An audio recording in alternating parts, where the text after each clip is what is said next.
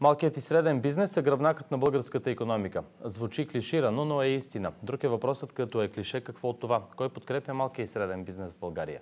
Кой се интересува от проблемите на менеджерите и им помага в трудни моменти? В следващите минути ще ви срещнем с Георги Найданов, новият издател на списание Бизнес Клуб. Една медия, която се стреми именно към това да бъде полезна на малкия и среден бизнес.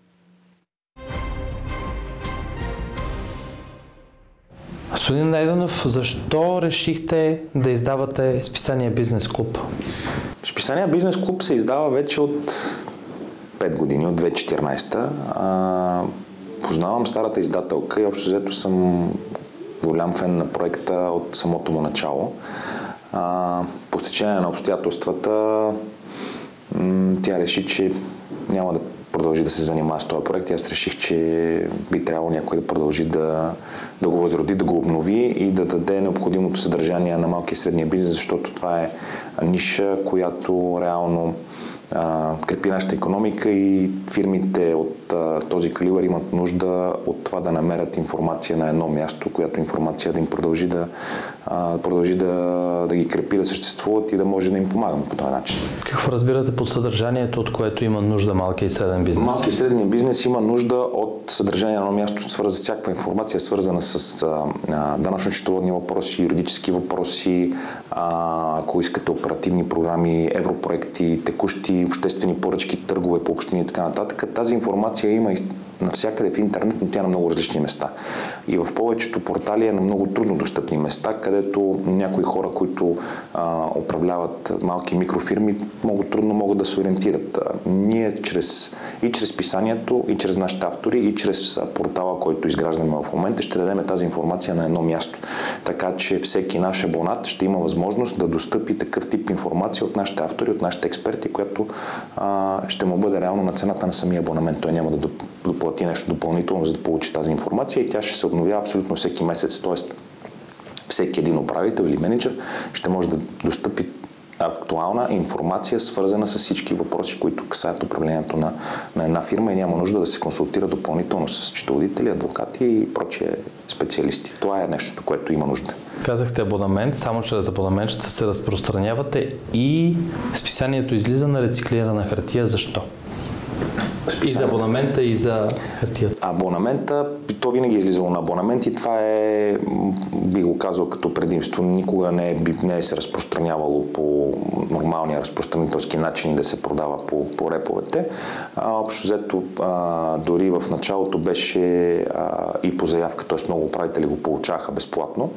А, Смятаме, че абонаментът е правилното нещо, защото този абона, абонамент реално ще даде и достъп до този портал. В един прекрасен момент списанието ще остане а, един хубав подарък за хората, които а, в свободното си време обичат да четат все още хартия, а, а всичко друго ще бъде налято онлайн, защото все пак а, така наречената индустриална революция 4.0 се развива и общо взето почти всички хора, особено по-младите четат всичко а, през мобилни устройства.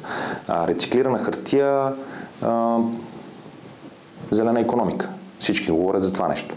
А, целият свят, Европейския съюз, появиха се а, явления като Грета Тунбърг и така нататък, но най-малкото, което искаме да сме еко и да, да, да пазиме гората, защото все пак хартията идва от от, от дърветата. Искахме да е рециклирана, направихме го на рециклиране. Има все още някои части от списанието, които не са, но до края на годината а, то ще бъде изцяло от рециклирана хартия. Имаме и а, идея а, списанието може би до година да се произвежда на още по-инновативни материали, ще го запазя за сега в тайна.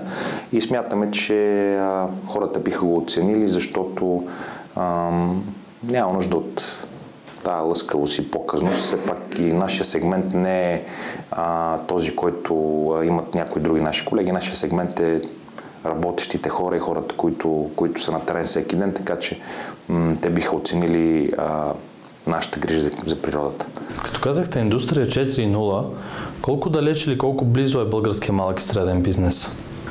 Зависи от кой аспект го гледаме. Има фирми, които са изключително иновативни, има стартъпи, които са изключително иновативни, защото аз под малък и среден бизнес разбирам по закон компания до 250 човека. Компания до 250 човека хич не е малка. А, и говорим, че има много м- а, компании в BPO индустрията и в IT индустрията, а, компании свързани с а, развойна дейност, които са много близо до индустрия 4.0. Дори а, а, сме да твърдят, че нали, някои хора казват, че България е Силициевата долина на Европа.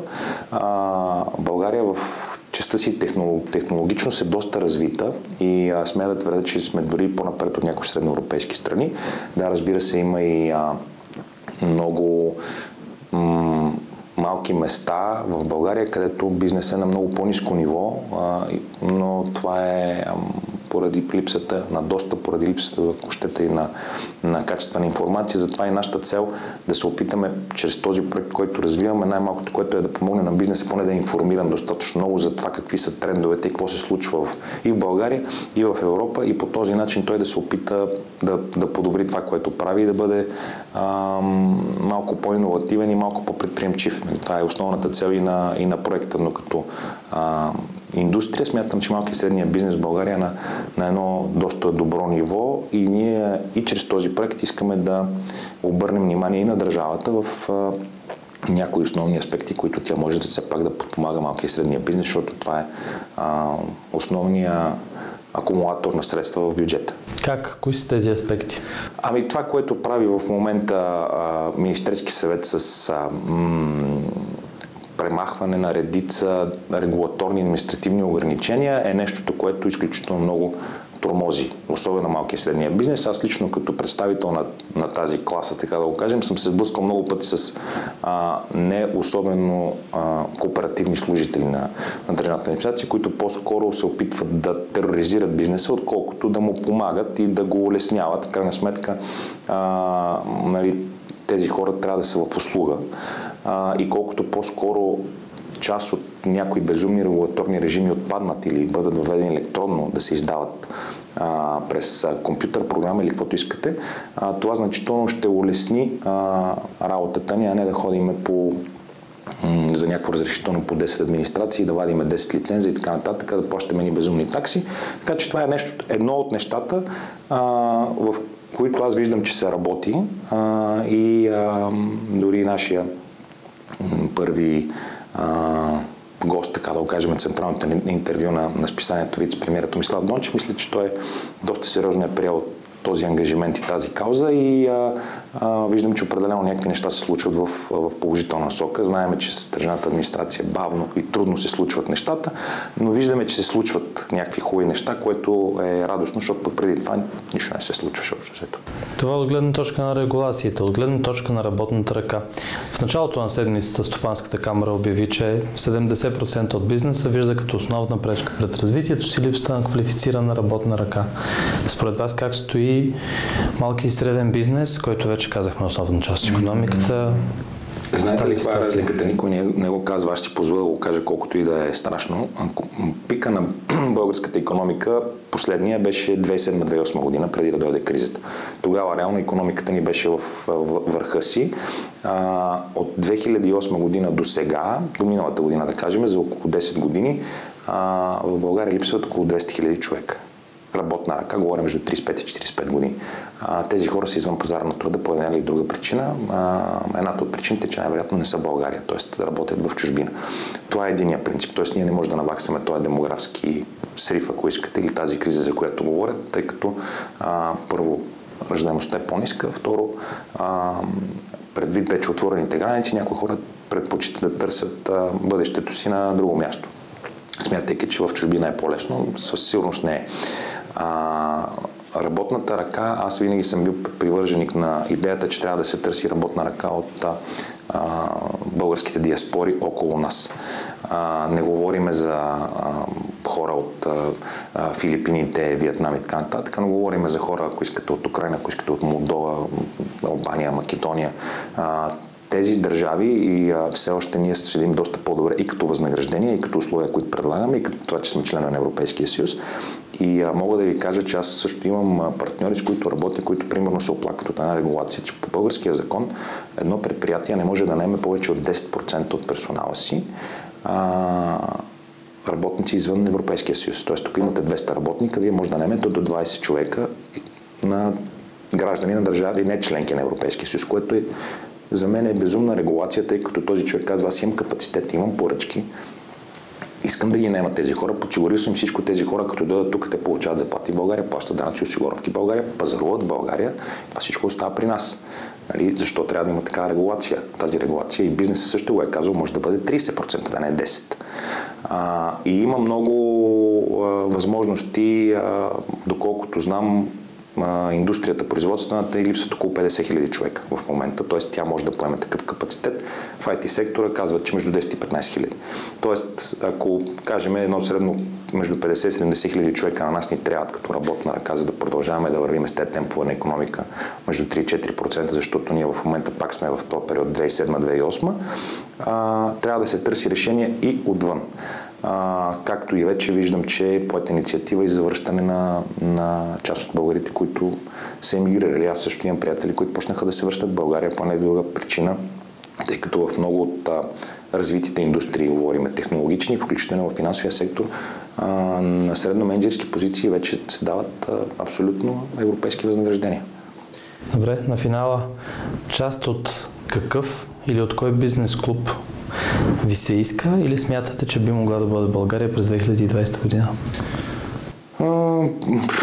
България първо, на първо място е част от Европейския клуб. Искаме се да продължиме с тези темпове на развитие, ако дори може, ако дори може и да ги ускориме.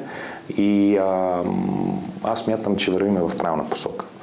А, смятам, че все още можем да дори да повишиме а, малко економическия си растеж, за да можем по-бързо да догонваме централноевропейските и западноевропейските държави. А, но мисля, че България става с всяка изминала година едно по-добро място за живеене. И а, аз лично, колкото и пъти в времето да ми е минало през главата, нали, за това, че границите са отворени, не бих си позволил, искам да да изградя нещо тук, да остана тук и смятам, че България в следващите няколко години през 2020, въпреки че се очертава да е доста интересна от гледна точка на глобалните конфликти и войни търговски, които се водят, е едно доста сигурно и спокойно място за живене. Благодаря ви за този разговор. Благодаря аз.